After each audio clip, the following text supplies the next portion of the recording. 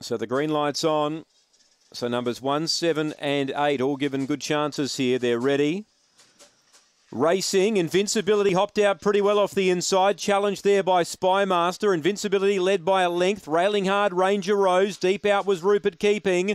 Right behind the first four, Thistle Rock as they're getting really tight. Then Pablo's Pup. Invincibility grabbed by Ranger Rose. Deep out, Rupert Keeping comes at Ranger Rose. Rupert Keeping going to Ranger Rose. Ranger Rose is finding though.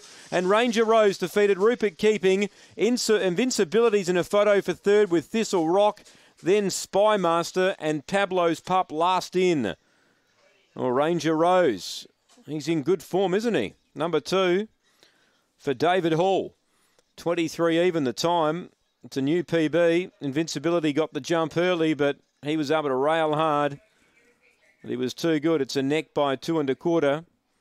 To the winner, seven Rupert keeping, trying hard, and one third Invincibility.